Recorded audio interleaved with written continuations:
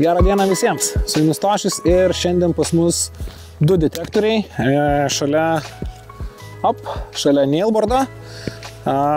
Turim Simplex BT ir turim Simplex Ultra. Tai naujieji turkų gaminiai, kurie yra patys tie, kurie daugelį iš mūsų atvedė į, į, į paieškas metalo detektoriais. Tai yra vienas iš paprasčiausių ir, ir galbūt pigiausių a, detektorių, nuo kurių daug kas pradeda.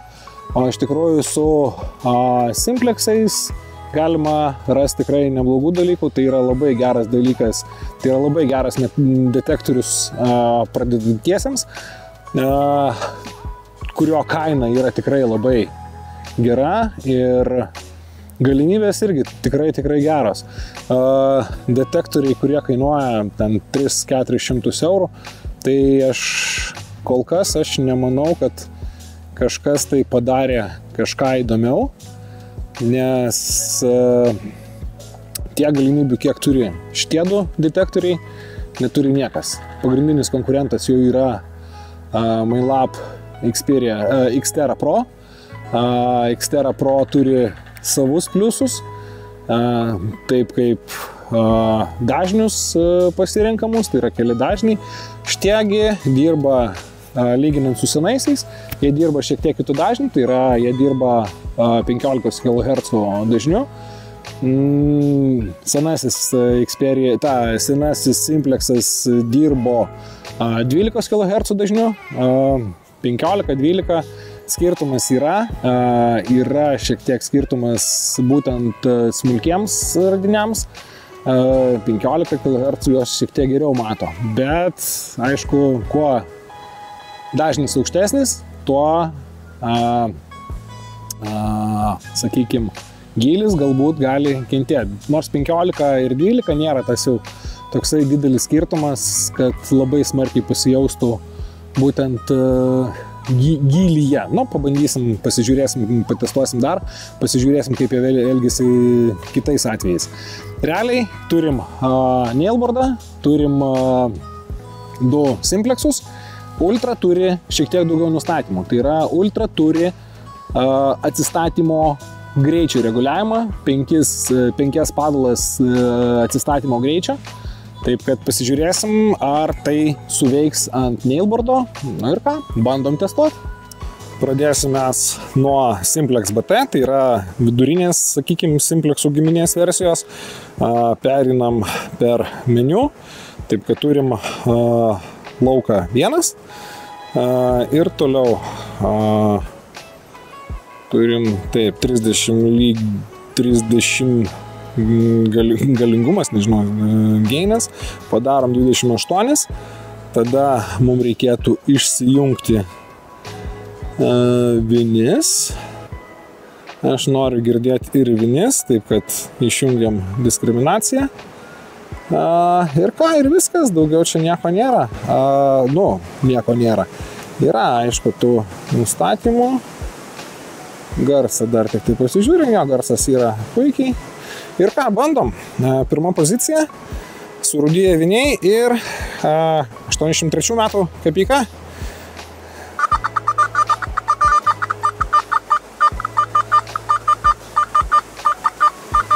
Puikiai. Antra.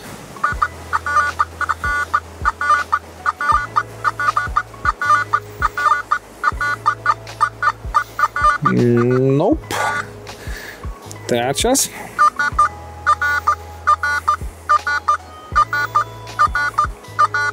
Puikiai ir ketvirtas. Tai realiai nepaėmė tik tai antro. Ok. Perstumėm monetą į antrą poziciją. Op. Antra pozicija, pirma kryptis.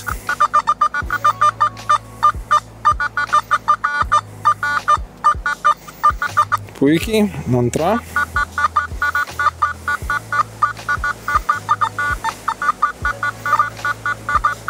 Ne. Trečia.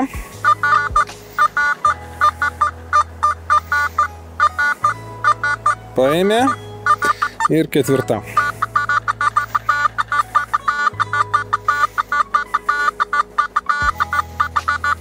Ok. Jungiam lauk ir imam, apapa, imam ultra. Imam ultra. Čia, kaip jau sakiau, yra šiek tiek daugiau nustatymų. A, gerai. Ir mums reikia dabar taip. Mums reikia išsijungti nočą. Tai taip. Taip ir šitaip. Ir dabar pabandysim. Pabandysim pasižiūrėti taip. Atsistatymo greitis 5. Standartė yra 3. Pasižiūrim su šitais nustatymais. Apa. Ir aišku, perstum dar reikėtų. Apa, į pirmą poziciją.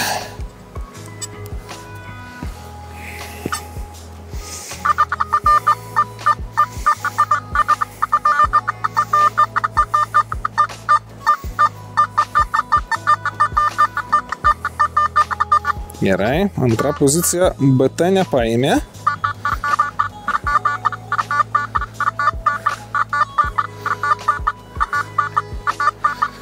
Ne. Trečia.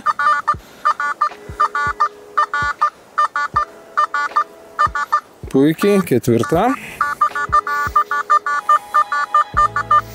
Gerai, pasidarom dabar atsistatymą, susikeliam aukštyn. Gerai. Ir čia mums irgi reikėtų gal nusimti iki 28. Kaip ir tenai.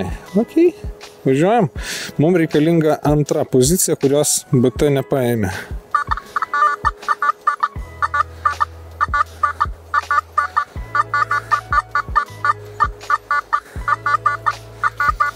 Mm. Ne, nu gerai, pabandom tada parką.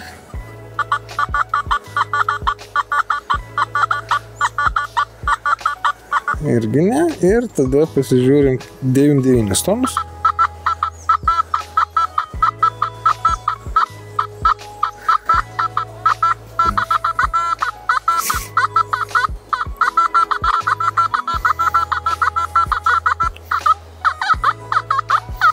Ok. Nu. Antros pozicijos nepaima ir, ir ultra. Gerai. Antro tiksliau šitaip. Važiavimo niekas nepaima. Gerai, pabandom. Mm, antra monetos pozicija. Pirma kryptis.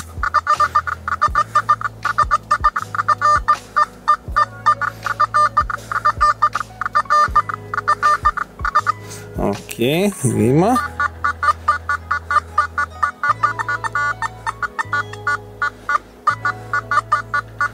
Ok, čia pas mus kas likę? Pas mus čia likę atsistatymas ties penkiais. Gerai, mums reikia pasidaryti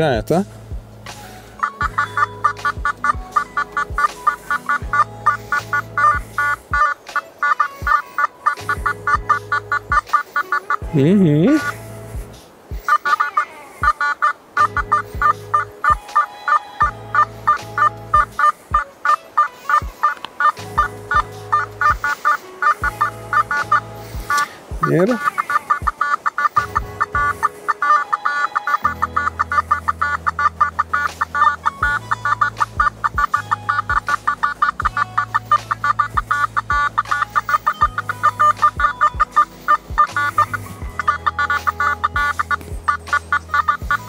Ok, tai paimam į settingsus, pasidarom atsistatymą maksimalų.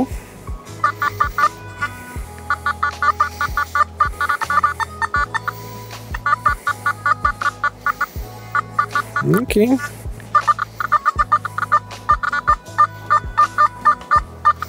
Antra kryptim.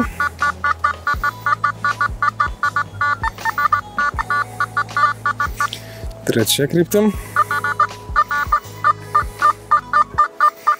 Ir ketvirta kryptim.